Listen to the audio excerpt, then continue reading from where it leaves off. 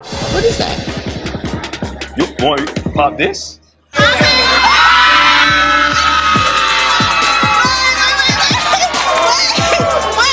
Cynthia, you know I love you. You know you're my love. You're my life. You're my heartbeat. You're my emotions. You're everything that I live for. And I love you. I just want to spend the rest of my life with you. What in the world? Baby, you have uh, accepted me for my past. You're here for me for my present. Now I want you to be my forever.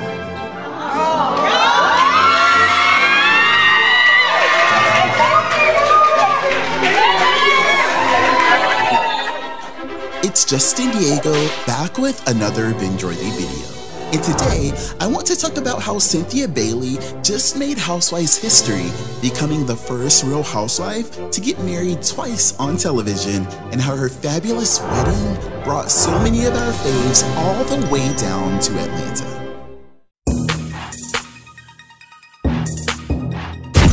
Cynthia Bailey really showed out, y'all, in this royal wedding, looking absolutely stunning in her beautiful rose gold lace gown, featuring these stunningly gorgeous jewels and crystals that look like they were perfectly hand placed. Right next to her black king, Mike Hill, who rocked a tailored black and silver look. And I really thought that his look was even more special whenever it was revealed that the inside of the jacket had a very special message for the big day. And while I'm at it, I definitely want to shout out the Black Queen who made Cynthia's gown, Nneka C. Alexander of Brides by Nona, and all of this black excellence is just giving me everything that I need. Talented, brilliant, incredible, amazing, show stopping, spectacular. Yes, Cynthia Bailey had over 250 guests representing the best of black excellence down at the Governors Towne Club, right outside of Atlanta. Cynthia and Mike exchanged vows in front of some of the most esteemed guests in the city, including her Real Housewives of Atlanta co-stars, Kandi Burruss, Kenya Moore, and former Real Housewives castmate Eva Marcille, who all served as bridesmaids. Now, I really like that the attire for the evening was all black, but the bridesmaids definitely stood out in their elegant white gowns. Yes, and make no mistake, other Bravo celebrities attended the event like the Grand Dame, Karen Huger, and Gizelle Bryant of The Real Housewives of Potomac, who all linked up for a beautiful photo capturing Housewives greatness, and I was so happy to see Sheree Whitfield in the mix, and you know, I'm just saying she definitely fits well within this group, and I was shook to see Porsha Williams looking stunning in her all black, and honestly, she looked so good that if I was Cynthia, I would have turned her away at the door because she looked like she was trying to outshine the bride. I'm just saying. E A R B I T C H. Garbage! Even Marlo, who allegedly basically missed all of the nuptials, arriving late, had her name on the list. I feel like everybody attended this ceremony except me. Now, I wasn't gonna say nothing because I was just like, okay, well, it's gonna be intimate friends and family and stuff. But I saw the hashtag on Instagram. I saw all these folks in there all black, and naturally, I was bitter. Sir, I don't see your name on the list. It's fine. Um, Cynthia follows me on Instagram. She probably just got way too busy to remember to send me an invite. You know how it is. Actually, I don't know how it is. It's Justin Diego back with another. Sorry. Sir. Just let me in. Sir, your name ain't on the It's. Justin Diego back with Sir, your name is not on the list. Now I'm gonna need you to get out of here.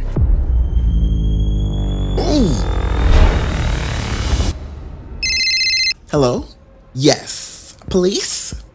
Um, I'm here down at the Governors Towne Club, and I see over 200 people in here, and they are not wearing any mask. Well, in the state of Georgia, masks are not exactly required, ma'am, sir. Well, what if I told you that they are African Americans? Oh, well, that's all you had to say. We are on our way.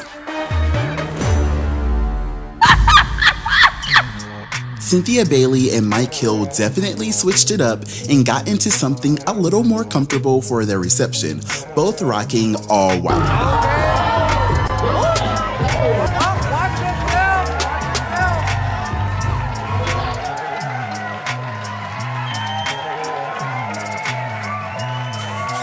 Yes, Cynthia wasn't playing, and her curves definitely fit perfectly into this gown as they enjoyed their first dance. Everyone attending the event seemed to be having such a great time, and I definitely have to shout out Eric Robinson on Instagram for taking all of these stunning photos of Cynthia Bailey at the wedding and for sharing so many amazing moments on his Instagram story, you know, for those of us who were not on the list. Like this beautiful moment from Mike's mom, who had everyone emotional. You know gold when you pass. Mm. And this is gold. Gold is solid. Yes. Mm. I love you.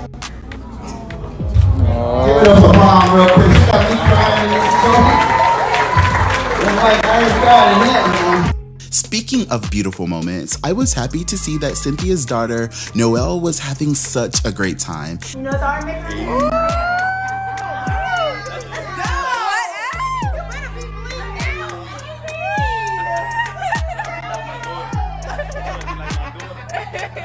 And I was happy that her father, Leon, wished the newlyweds well, even though he could not attend the wedding himself. Cynthia, you've been a supermodel a super mom to our beautiful Noelle. And now, today, you start the first day of being a super wife to Mike Hill. I congratulate you both. I'm sorry I couldn't be there, but I'm filming out of the country. But I'm there in spirit and in love through our daughter Noelle. I wish you all the best. I'm really happy for you. Much love.